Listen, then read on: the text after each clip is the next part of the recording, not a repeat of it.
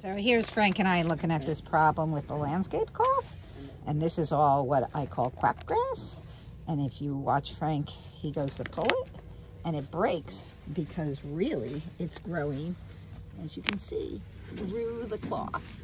So the cloth has not stopped life because it is tenacious and it's growing. Yep, here you can see it, smack through the landscape cloth. This is why landscape cloth does not work because even in a season, it has found its way. Another situation with the landscape cloth is that this spirea, which is a great choice of plant, deer resistant, sun loving, easy maintenance, it grows in that it gets wider and wider. With the landscape cloth up against it, as we see there, it would hinder that.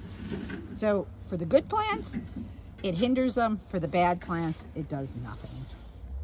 Here's another reason why we don't use landscape cloth.